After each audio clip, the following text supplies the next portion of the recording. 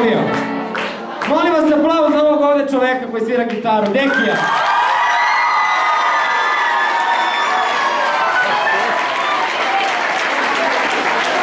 A i za ovog malo koji svira klavir ovdje.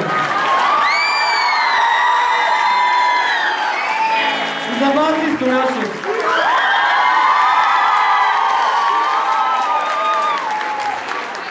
I za gospodina Men in Black što svira bubnjeve.